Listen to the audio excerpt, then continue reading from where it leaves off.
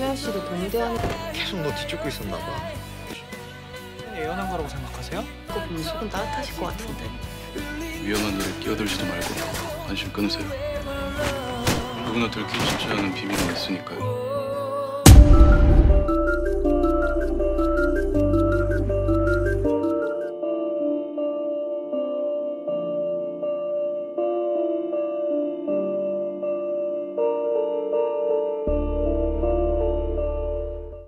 Film berlanjut, sebelumnya di part 1, setelah Sohyun menghabisi Karimov Sam mafia Rusia, karena telah berani-beraninya memusik orang-orang terdekat Sohyun. Bersamaan dengan itu, ternyata Saudi mengingat tentang masa lalu kelam yang selalu membuatnya tersiksa, yaitu kematian kakeknya di hadapannya sendiri. Dan saat itu orang yang membunuh kakeknya tak lain adalah Pavel.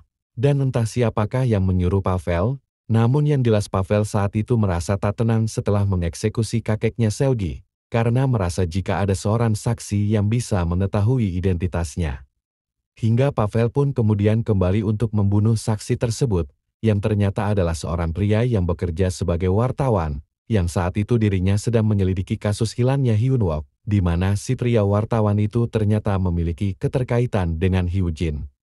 Saat itu Pavel sebenarnya juga berniat membunuh Selgi yang kebetulan berada di sana, tetapi Pavel dicegah oleh Sohyun, karena Sohyun menganggap jika Selgi masih kecil yang tak mungkin dapat memberitahukan identitas Pavel. Di sana Seudi kecil melihat jika pria yang menolongnya adalah Sohyun yang datang kembali setelah sembilan tahun berlalu. Tetapi entah mengapa Seudi merahasiakan semua itu, bahkan sekarang malah menganggap Sohyun sebagai kakaknya. Keesokan harinya saat Hyujin bersama Sohyun, Hyujin lalu mendapatkan panggilan dari rekan polisinya, jika si Karimov orang yang sedang mereka cari ditemukan telah meninggal di dermaga. Di mana Hyujin langsung bergegas ke sana, dan begitu terkejut ketika melihat kondisi jasad Karimov yang terbunuh dengan cara ditembak. Membuat Hyujin bertanya-tanya, siapakah orang yang telah membunuh orang berbahaya seperti Karimov? Sebab dari identifikasi di sana, Karimov dibunuh oleh seseorang yang sangat profesional. Hingga setelah itu Hyunjin kemudian mencoba menghubungi Selgi yang tadi ia lihat sedang buruk. Tetapi ketika Selgi mengangkat panggilan Hyunjin, Sohyun keburu datang menghampiri Selgi, dan di sana mereka pun berbicara mengenai keinginan Selgi menghapus tanda luka di dahinya, karena Selgi ingin sepenuhnya melupakan kenangan buruk dari tanda itu.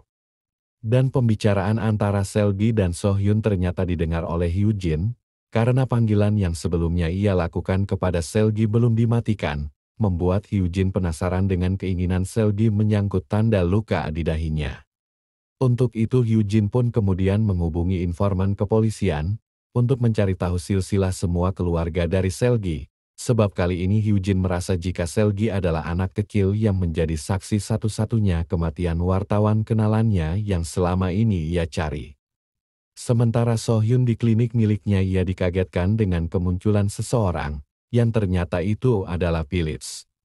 Di mana dirinya setelah diculik dan disiksa bawahan Karimov, Philip kini meminta kepada Sohyun, agar Sohyun mengizinkannya tinggal di tempatnya, karena merasa nyawanya sekarang semakin terancam setelah Karimov mati. Sohyun yang tak punya pilihan lain pada akhirnya mengizinkan Philip tinggal di tempatnya, serta mengenalkan Philips kepada Selgi. Sin kemudian berpindah kepada Jaiwan yang terlihat sedang menyiksa bawahannya, karena ternyata Hyunwook pria yang ia coba lenyapkan di masa lalu, ternyata masih hidup, Bahkan Jaiwang tak segan-segan mengancam bawahannya, karena kerjaannya selama ini tak becus. Untung saja asisten wanitanya menenangkan Jaiwang agar menyerahkan urusan Hyun Wook kepadanya. Sementara di kantor polisi, Hyujin yang terus berusaha mencari petunjuk mengenai pria bermasker yang menolongnya. Kemudian atasannya menyuruh Hyujin untuk bertemu dengan seorang jaksa baru yang bertugas di wilayah mereka. Hyujin yang merasa tak memiliki urusan dengan jaksa baru itu, awalnya menganggap jika hal itu tak perlu. Tetapi ketika atasannya memohon, Hyujin pun dengan terpaksa menuruti perintah itu. Dan ketika bertemu, ternyata jaksa baru itu sedikit berperilaku aneh. Karena malah asik bermain game, membuat Hyujin kesal, lalu kembali ke kantornya untuk kembali mencari petunjuk mengenai siapa si pria masker. Keesokan harinya seperti biasa, Hyujin kembali bertemu dengan Sohyun. Di mana kali ini Sohyun bisa melihat jika Hyujin adalah wanita yang tak hanya berparas cantik, tetapi juga memiliki sifat baik, karena dirinya tak segan-segan membantu seorang ibu-ibu yang sedang berjualan sayur. Dan hal itu membuat Sohyun semakin penasaran dengan Hyujin.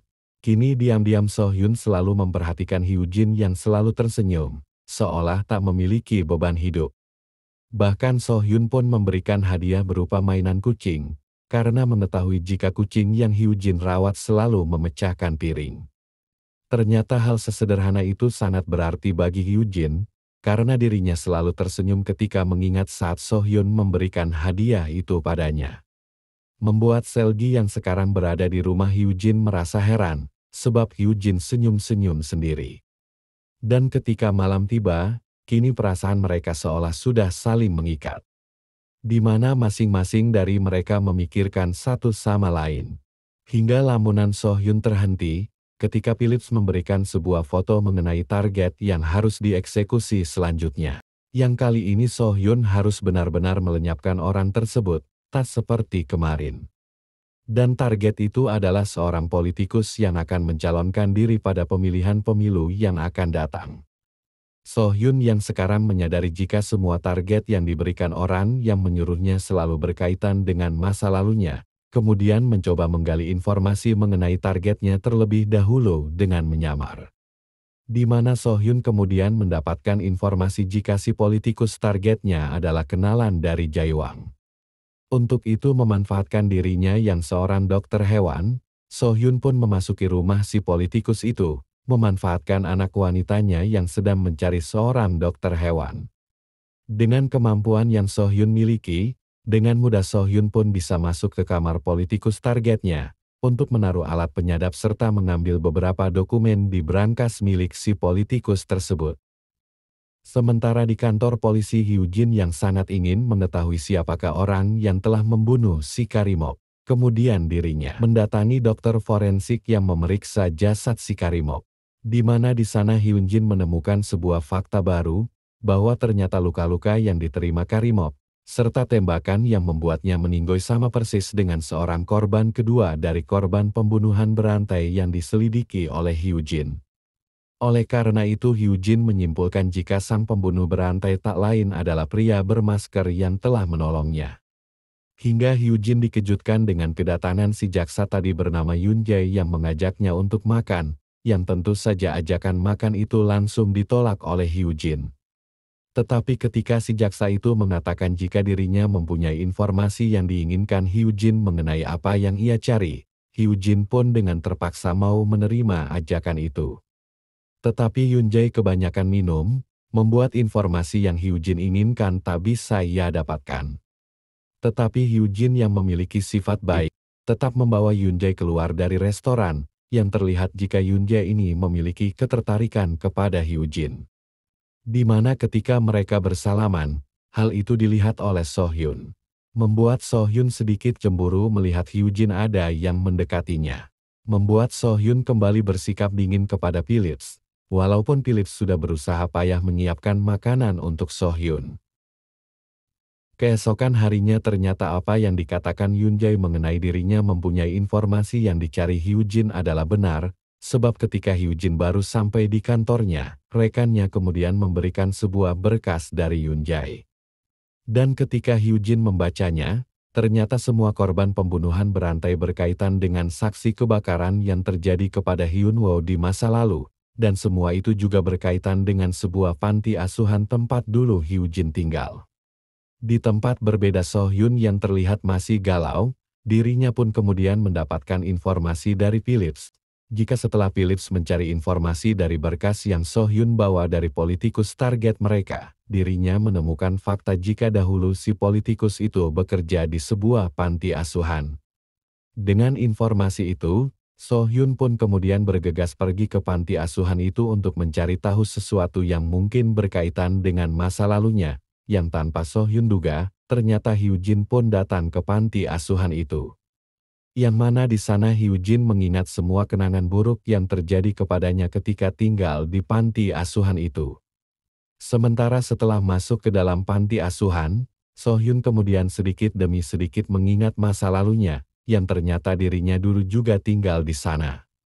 Di mana dirinya memiliki seorang teman wanita yang selalu membantunya dengan memberikan sebuah surat berupa pesawat kertas. Tetapi karena panti asuhan itu sudah lama ditinggalkan, Sohyun tak menemukan petunjuk apa pun selain sedikit ingatan yang ia ingat. Hingga di sana Sohyun menyadari jika ada orang lain selain dirinya yang berada di panti asuhan itu sekarang, dan ketika melihat ternyata itu adalah Hyujin yang terlihat menyimpan sesuatu di balik sebuah bata yang di sana dulu tempat Sohyun selalu mendapatkan surat dari teman masa kecilnya. Menyadari jika Hyujin memiliki keterikatan dengan masa lalunya, Sohyun pun mencoba mengikuti Hyujin ketika Hyujin pulang. Tetapi aksinya hampir ketahuan, membuat Sohyun dengan terpaksa harus menjauhi Hyujin. Hingga ketika Hyujin sampai di tempatnya, ia tak sengaja melihat sepeda motor yang sama dengan yang ia lihat di dekat panti asuhan tadi dan di jalan. Untuk itu Hyujin kemudian menanyakan pemilik sepeda motor itu kepada Selgi, dan Selgi pun berkata jika motor itu milik Sohyun. Membuat Hyujin menyadari jika mungkin saja Sohyun juga adalah orang yang berasal dari panti asuhan seperti dirinya. Untuk memastikan itu, Hyujin pun meminta bantuan Selgi agar membujuk Sohyun agar mau datang ke tempatnya untuk makan bersama. Di mana kecurigaan Hyujin mengenai Sohyun terjawab, ketika Sohyun sangat tertarik dengan kertas pesawat yang ia buat, dengan tulisan yang sama seperti dulu. Sohyun sendiri kini menyadari jika Hyujin adalah teman masa kecilnya dulu di panti asuhan, tetapi hal itu malah membuat Tilips menyarankan Sohyun untuk segera pergi, karena ada kemungkinan jika Hyujin sengaja melakukan itu untuk menjebak Sohyun agar mengetahui identitasnya sebagai pembunuh bayaran.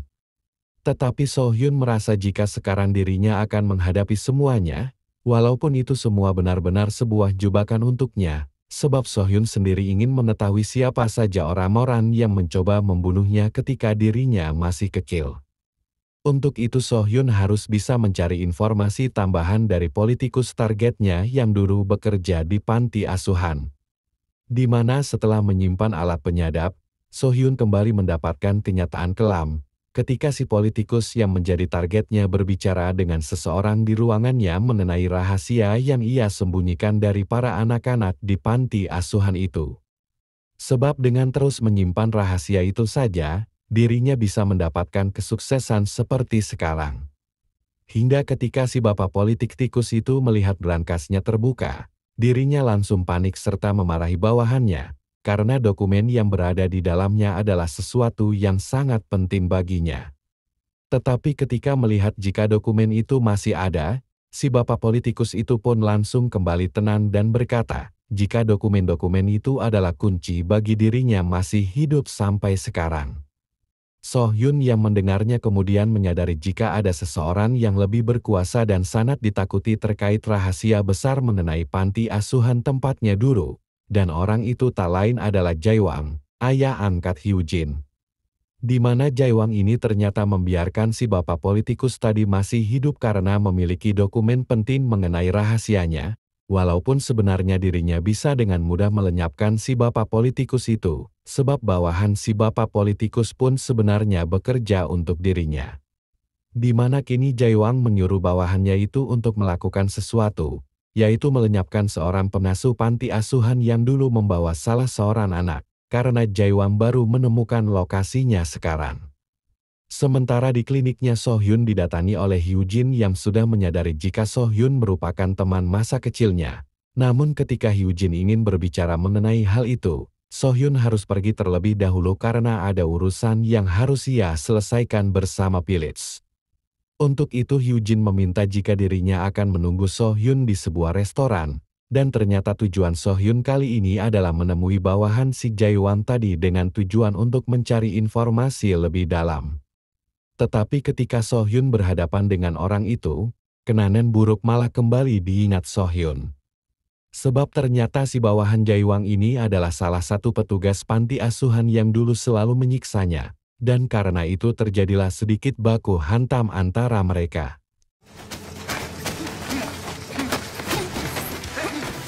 Tetapi Sohyun harus kabur terlebih dahulu, karena rekan pria tadi keburu datang. Di mana setelah mengingat informasi tentang si pria tadi, Philips dengan kemampuannya berhasil menemukan seseorang yang mungkin bisa membantu So Hyun mengenai dirinya saat di panti asuhan dulu, yaitu seorang pengasuh yang kini tinggal seorang diri. Namun dari informasi yang didapat Philips, pengasuh itu memiliki kekurangan, yaitu tak bisa berbicara. Membuat So Hyun harus mengabaikan Hyo Jin yang menunggunya di restoran. Namun kedatangan So Hyun ke rumah pengasuh itu malah membuat pengasuh itu ketakutan, Walaupun Sohyun berkata jika dirinya adalah anak yang berhasil selamat, namun tetap saja si ibu itu tak percaya. Tetapi Sohyun terus berusaha meyakinkan si ibu itu dengan sedikit membetulkan rumahnya, hingga setelah itu Sohyun kemudian menemui Hyujin yang ternyata masih menunggunya di restoran.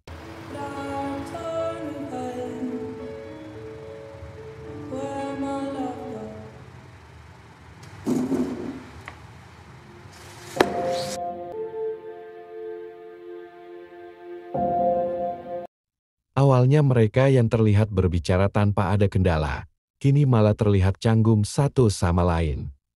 Di momen itu So Hyun pun bertanya tentang hal yang Hyujin ingat saat tinggal di panti asuhan dulu. Di mana Hyujin menceritakan jika saat-saat itu adalah momen paling menakutkan bagi dirinya yang seperti berada di neraka, hingga seseorang datang dan merubah hal itu menjadi lebih baik, yaitu teman masa kecilnya yang selalu bertukar surat lewat kertas berbentuk pesawat. Setelah itu Sohyun terus terpikirkan dengan perkataan Hyujin mengenai dirinya yang telah merubah hidup Hyujin. Tetapi Tilits menyampaikan sesuatu jika klien mereka kembali menghubungi agar Sohyun menjalankan tugasnya mengeksekusi si politikus. Membuat Sohyun menyadari jika hidupnya sudah tak bisa kembali menjalani hidup normal seperti keinginan hatinya sekarang yaitu bersama Hyujin. Hingga So Hyun pun mendapatkan panggilan dari si ibu pengasuh yang ia datangi tadi, tetapi karena si ibu tak bisa berbicara So Hyun hanya bisa mendapatkan informasi lewat isyarat saja. So Hyun sebelum sampai ke tempat si ibu pengasuh itu berusaha bertanya mengenai dirinya yang dinamai dengan angka 88. Di mana si ibu pengasuh ini ternyata mengetahui jika orang itu adalah So Hyun. Untuk itu Sohyun berusaha secepatnya sampai ke tempat si ibu itu. Namun tiba-tiba bawahan Jaiwam datang, yang tak lain untuk mengeksekusi ibu pengasuh. Di mana ketika Sohyun sampai di sana, dirinya hanya menemukan ponsel si ibu yang terjatuh, membuat Sohyun kembali gagal mendapatkan informasi mengenai dirinya. Sementara Hyujin sendiri akhirnya mendapatkan informasi mengenai latar belakang Selgi, di mana apa yang diduga mengenai Selgi yang adalah si gadis saksi yang ia cari selama ini adalah benar. Untuk itu Hyujin langsung mendatangi Selgi untuk menanyakan semuanya, tetapi Selgi malah ketakutan dan tak mau menceritakan tentang kejadian itu, walaupun Hyujin terus memohon kepada Selgi. Hingga datanglah Sohyun yang meminta kepada Hyujin untuk tak menekan Selgi tentang itu semua, dan meminta Hyujin untuk memberikan Selgi waktu.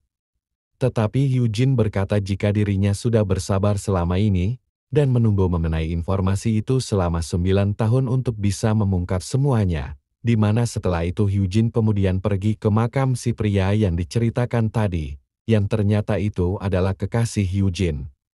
Sohyun yang diam-diam mengikuti Hyujin, kemudian mendatangi makam pria itu setelah Hyujin pergi. Dan ia pun menyadari jika pria itu adalah korban Pavel ketika melakukan tugas bersamanya di masa lalu. Di tempat berbeda Pilits kembali dihubungi oleh kliennya, di mana kliennya menanyakan mengapa Sohyun belum juga mengeksekusi si politikus itu dan jika hal itu tak dilakukan, kliennya mengancam akan berbuat sesuatu kepada Sohyun dan juga Pilits. Usut punya usut ternyata klien yang selalu menyuruh Sohyun mengeksekusi target-targetnya untuk mendapatkan foto masa lalu Sohyun tak lain adalah asisten Jaewang yang ternyata malah berpihak kepada Hyun Wok yang sekarang sedang menyamar menjadikan tukang kebun dan berada dekat dengan tempat tinggal Sohyun itu sendiri. Keesokan harinya setelah merasa telah menekan Selgi terlalu keras, Kyujin pun kemudian menghubungi Selgi untuk mengajaknya jalan-jalan bersama anjing peliharaan milik Sohyun. Di mana karena itu, hubungan mereka yang awalnya renggan kembali menjadi dekat. Di momen itu Selgi yang penasaran kenapa Hyujin begitu ingin mengetahui tentang kematian wartawan dulu sempat ia lihat kemudian bertanya-tanya. Di mana Selgi menyadari jika pria itu sangatlah berarti bagi Hyujin, sebab dulu Hyujin selalu merasa ketakutan dan tertekan oleh ibu angkatnya. Tetapi karena kehadiran kekasihnya membuat Hyujin berani melangkah sendiri, dan memutuskan pilihannya sendiri yaitu menjadi seorang polisi. Sementara di sisi lain So Hyun sendiri kini tengah bersiap untuk mengeksekusi si politikus, di mana dengan kemampuannya sebagai pembunuh bayaran, dirinya dengan mudah sudah berada di ruangan si bapak politikus untuk mengeksekusinya. Tetapi ketika akan membunuh si bapak politikus, tiba-tiba seorang anak kecil datang. Membuat So Hyun tak jadi melakukan itu dan langsung pergi dari sana. Hingga karena itu Hyun Wok San klien merasa marah dan menyuruh asistennya untuk memberikan pelajaran kepada So Hyun agar menuruti kesepakatan yang telah mereka buat. Sementara So Hyun sendiri terus dipaksa oleh Philips agar menyelesaikan tugasnya untuk mengeksekusi si bapak politik, sebab jika itu tak dilakukan maka sesuatu yang buruk akan terjadi kepada mereka. Tetapi Sohyun yang sudah tak memiliki hasrat untuk menjadi pembunuh bayaran meminta kepada Philips agar membatalkan semua yang telah mereka sepakati bersama kliennya. Di mana Philips yang takut dengan ancaman kliennya mengatakan untuk memberikan Sohyun waktu, sebab ia akan berusaha membujuk Sohyun untuk menjalankan tugasnya mengeksekusi si politikus itu. Untuk itu kliennya kemudian memberikan kembali sebuah foto kepada Philips untuk membujuk Sohyun dengan foto tersebut, sebab menurut kliennya foto itu adalah bagian penting dari masa lalu Sohyun. Namun setelah Philips memberikan foto itu, Sohyun yang kini sudah tak mau lagi disuruh tugas membunuh dari kliennya, dirinya meminta Philips untuk melacak tempat klien mereka. Sebab jika ancaman mereka benar dilakukan, maka Sohyun sendiri yang akan datang kepada kliennya untuk membuat perhitungan. Di mana setelah itu Sohyun kemudian mendatangi lokasi dari foto yang diberikan kliennya tadi yang mengantarkannya ke sebuah pemakaman. Yang di mana ternyata gadis yang berada di foto itu adalah Do Hyu Jin yang asli, yang telah meninggal karena penyakitnya. Sohyun pun kemudian mengingat kenangan saat dirinya bertemu untuk pertama kalinya bersama gadis itu, dan dirinya lah orang yang memberinya nama Sohyun. Hingga di momen itu karena permintaan si gadis tersebut, mereka pun melakukan foto bersama ibu dari si gadis itu dan ternyata alasan Hyujin diadopsi, karena dirinya memiliki kemiripan dengan gadis itu yang terlihat sangat disayangi oleh ibunya. So Hyun yang merasa kliennya sangat mengetahui tentang masa lalunya serta semua rahasia yang terjadi di panti asuhan kemudian menyuruh Philips untuk segera melacak dan menemukan siapa sebenarnya kliennya selama ini. Sebab dengan mereka berhasil menemukan siapa identitas kliennya, maka semua informasi mengenai masa lalunya pun akan dengan mudah terungkap dan tak perlu repot-repot menuruti lagi perintah mereka. Philips yang tak punya pilihan lain, kemudian berusaha mencari identitas kliennya. Sementara Hyujin sendiri kini dirinya bersama rekan polisinya ternyata diam-diam menawasi si politikus tersebut, sebab merasa jika sesuatu yang buruk akan terjadi kepadanya hingga Hyujin mendapatkan panggilan dari ahli sketsa polisi yang telah selesai menggambar sketsa mengenai ciri-ciri si pria bermasker. Awalnya Hyujin sama sekali tak menemukan keanehan dalam sketsa yang diberikan kepadanya. Hingga ketika ia bertemu dengan Yonjai, Hyujin pun menyadari jika salah satu sketsa yang telah digambar adalah orang yang ia kenal yang tak lain adalah Sohyun. di mana setelah mengingat kembali tentang Sohyun, Hyujin pun kemudian bergegas untuk pergi ke klinik milik Sekyun dan langsung mencari sesuatu di sana yang berkaitan dengan aksi Sohyun. Namun apa yang dicari Hyujin tak bisa ia temukan, karena Sohyun yang terlebih dahulu datang ke sana. Hyujin yang tak mau dicurigai kemudian berpura-pura jika dirinya sedang mencari obat untuk kucing miliknya, dan ketika Sohyun akan pergi Hyujin pun bertanya siapakah Sohyun sebenarnya serta siapakah orang yang telah mengadopsi Sohyun dari panti asuhan. Di mana pertanyaan itu hanya dijawab oleh Sohyun dengan berkata, jika orang tua angkat keduanya sudah meninggal sangat lama. Hingga Sohyun pun kemudian pergi, sebab ia harus melakukan sesuatu. Hal itu kemudian dimanfaatkan oleh Hyujin untuk masuk ke kamar Sohyun dan kembali mencari bukti mengenai Sohyun yang adalah si pria bermasker. Tetapi aksi Hyujin kembali gagal karena Sohyun yang kembali datang, dan ternyata Sohyun sudah menyadari jika Hyujin sedang mencari sesuatu di tempatnya. Hyujin yang sudah merasa yakin jika Sohyun adalah si pria yang memakai masker kemudian menghubungi informan polisi untuk mencari semua informasi mengenai Sohyun.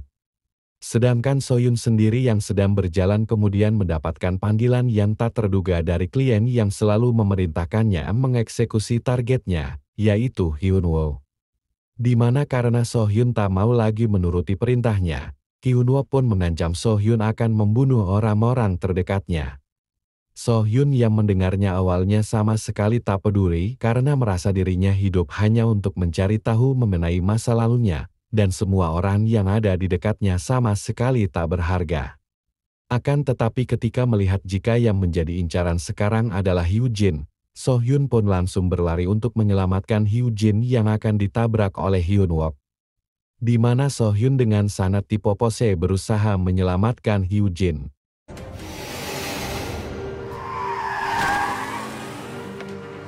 Namun sayang kali ini video harus bersambung di sini dan terima kasih buat kalian yang sudah menonton.